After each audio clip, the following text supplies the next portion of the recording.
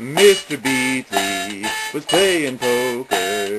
He was out with the boys, out with the boys, out with the boys. But he had been drinking way too many. Rob Roy's, Rob Roy's, Rob Roy's.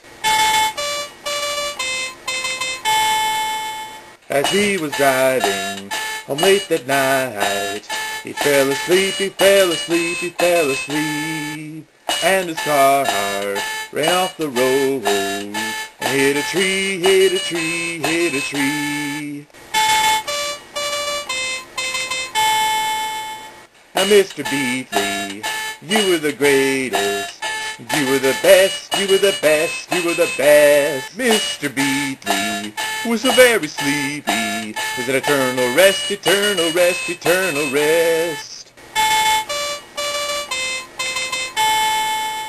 Hello, ladies and gentlemen. My name is Major Edgar Beatly, and I'm speaking to you from the great beyond. You see, this audio was recorded exclusively to be listened to at my funeral, hence the reason why you are listening to it. I hope you all are enjoying yourself at my funeral, and I hope you are enjoying the free buffet that I specifically requested be provided at my funeral. And I want you all to know that death is not the end.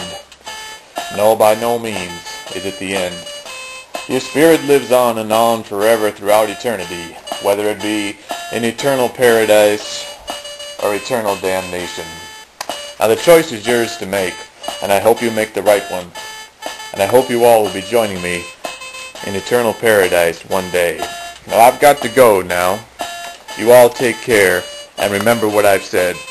This is Major Edgar Beatly, signing off. Hope to see you on the flip side. Mr. Beatly, we will miss you, but we know you're better off where you are. But Mr. Beatly, why were you drinking? Couldn't you tell that you were too drunk to drive your car?